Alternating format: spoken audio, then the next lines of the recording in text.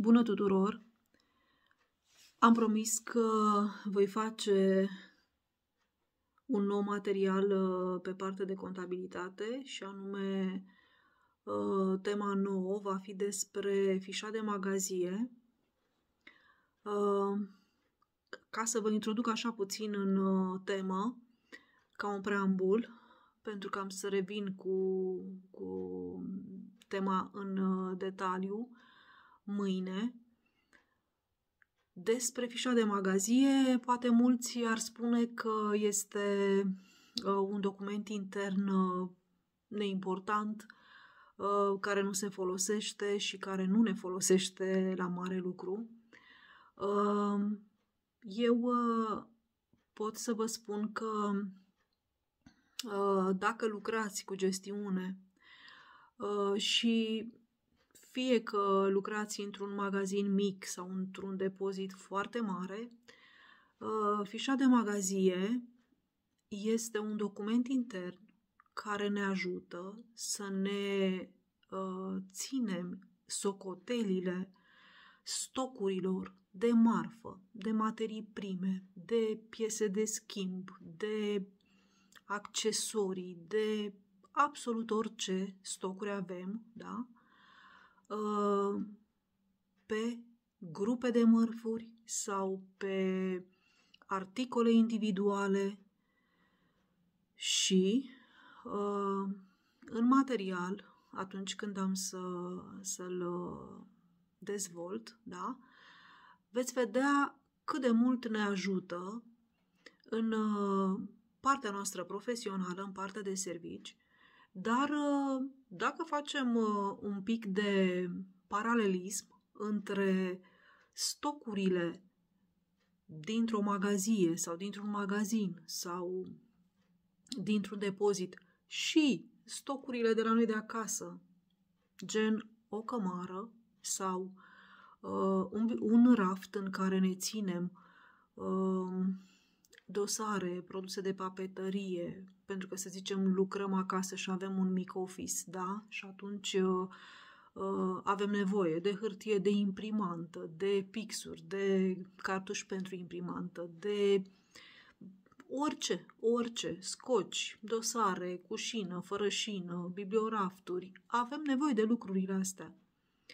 Ne ajută să ne organizăm. Deci chiar fișa asta de magazie, eu aș uh, duce-o până într-acolo uh, în a o folosi ca metodă de gestionare și ca instrument care să ne ajute să ne gestionăm chiar și uh, bunurile din uh, cămara noastră proprie, din uh, biroul nostru propriu, da? Pentru că foarte mulți dintre voi sunt convinsă că lucrați de acasă, mai ales după perioada de pandemie, când uh, majoritatea cei care lucrau la birou sau în IT sau în conta sau eu mai știu în alte domenii au ales uh, remove uh, pentru că așa a fost uh, așa au fost vremurile. Și eu cred că tindem uh, uneori să devenim foarte dezordonați. Uh, tindem să cumpărăm lucruri care considerăm că ne sunt necesare din uh, instinct. Ne tot spunem, da, eu țin minte, pentru luna asta mi-ajunge cartușul de la imprimantă și o să-l iau luna viitoare. Dar uh, iată că se întâmplă să rămâi fără tuș de imprimantă atunci când trebuie să-ți uh, întocmești un dosar. Ce faci? Ce faci? Poate nu ești uh, în locul potrivit să te duci să-l cumperi, poate nu-l găsești pe internet să dai comandă, poate nu-l găsești nici la hipermarket pentru că este lipsă de stoc. Da? Și atunci, uh, fișa asta de magazie o putem transforma și într-o fișă personală, acasă, da? O completăm și o punem pe perete. Și o să vedeți câte informații, câte, câte informații putem să obținem dintr-o fișă de magazie foarte multe informații. Dar, pentru lucrul ăsta, vă sugerez să aveți puțină răbdare ca să îmi fac timp să pot să fac acest material pentru că niciodată nu-mi regizez astfel de materiale. uh, pur și simplu mă apuc de, de material și atât. Important este să am uh, timpul necesar, uh, să pot să aloc acele mm, maxim 15 minute pe care TikTok-ul mi le permite ca să fac un film cap-coadă, dar să mă încadrez în aceste 15 minute.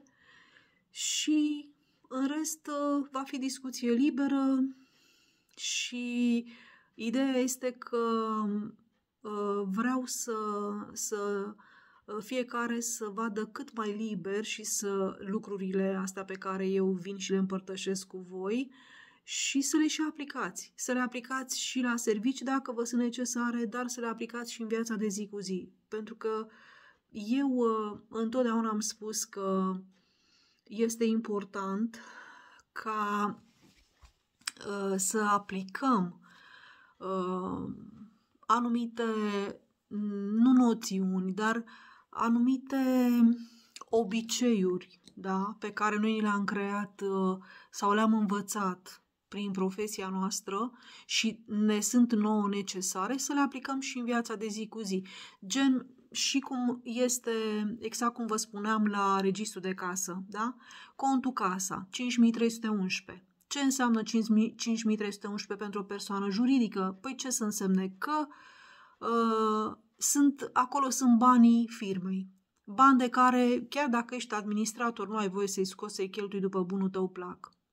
Și făcând, făceam o paralelă atunci între 5311 contul casa, banii firmei, și contul tău din buzunarul tău, cum ar veni, da? Aceeași formulă put, putem să o aplicăm și în, și în cazul nostru persoană pe CNP, pe CNP ca să zic așa, da? Uh, în sensul în care, dacă eu iau salariu astăzi și iau o dată pe lună salariu, da? Ei, care este contul meu personal, casa, cash-ul meu? 5311 al meu din portofel, care este? Păi este ăla de 500 de lei, să zicem, ipotetic. Și trebuie să-mi ajungă o lună de zile, da? Ei, și atunci, pe baza uh, formulei registrului de casă, noi putem să ne ținem și să ne evidențiem veniturile și cheltuielile într-o lună de zile. Practic, intrările sau inputurile de bani sunt o singură dată, atunci când îți intră banii pe card, restul sunt numai cheltuieli. Și atunci, din soldul pe care tu îl ai, începi să scazi cheltuielile și vezi în fiecare zi cu ce bani mai rămâi seara și pe ce ai cheltuit. Și văzând pe ce cheltui în fiecare zi, poți să faci o analiză și să vezi care este ponderea cea mai mare a cheltuielilor din total bani încasați pe, din, din salariul tău. Unde se duc cei mai mulți bani, da? pe întreținere, pe curent, pe așa mai departe și uh, restul pe ce se cheltuie, pe mâncare, o poți face procentual și valoric dacă vrei. Și la sfârșitul lunii s-ar putea să ai o surpriză și să vezi că undeva în ziua 20, până să se încheie tot, uh, tot termenul ăsta de 30 de zile până încasezi o nouă chenzină, tu să rămâi fără bani. Și atunci registrul de casă ăla personal te ajută să vezi de unde faci rost de bani. Păi m-am dus și m-am împrumutat la mama, la tata, la vecina, la bunica, la verișoara sau am făcut un împrumut pe cardul de cumpărături, ceva la modul ăsta. Și atunci foarte mult te duci în sensul ăsta pentru că scriți, îți calculezi și vezi care este cash flow-ul tău personal. Am dat dintr-una într-alta. Așa și cu fișa de magazie. Eu am observat, spre exemplu, uh, am uh, ulei, da? Ulei nu cumpărăm în fiecare zi. Ulei cumpărăm o dată la o perioadă, poate găsim la o ofertă și atunci este un preț bun și iau mai mult. Da? Acolo, în cămară, la raftul respectiv, este bine întotdeauna să avem o fișă, o foaie pe care poți să, să-ți o faci chiar tu, gen fișă de magazie, da? Zicem așa. Și scrii, în data X am cumpărat ulei, 6 litri și prețul. Ai dat pe el 20 de lei. Și când iei din uh, raft, scazi. Minus un litru în data Y, minus încă un litru în data Y. Și după ce ai ajuns la ultima sticlă de ulei, tu poți să vezi în ce interval de timp ai consumat 6 litri de ulei. Poți să afli dacă tu într-o lună de zile consumi uh, în două persoane sau într-o persoană sau în trei persoane 6 uh, litri de ulei și atunci îți faci o analiză. Da? Pe de altă parte, te duci și îți realimentezi stocul acolo de ulei în cămară. Uh, și ce poți să afli în momentul în care achiziționezi o nouă tranșă de ulei? Poți să afli prețul. Comparând prețul cu care tu ai cumpărat la momentul uh, ăsta uh, și comparându-l cu cel de data trecută, poți să afli dacă s-au mai scumpit sau s-a mai ieftinit uleiul. Da? Și, dacă, și atunci îți dai seama că ți-au mai rămas ceva bănuți, faci o economie. Sau din contră, dacă prețul s-a scumpit față de cel anterior, tu trebuie să mai scoți bani din buzunar.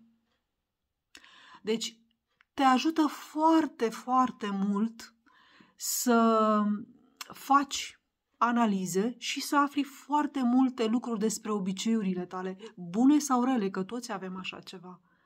Da? Deci eu zic să, eu aștept și eu și vreau cu mare interes să fac această fișă de magazie, să vă dau și formula de calcul și să o aplicați în viața de toate zilele, nu numai la servici. Da? De o fișă de asta de magazie ne, ne ține ancorați în, în realitate, cu cheltuielile noastre, cu consumurile noastre, cu, și cu obiceiurile noastre, bune și rele. Da? Vă aștept uh, la următorul material, sper să mă țin de cuvânt și să-l fac, uh, da? Mâine, eu așa sper. Numai bine!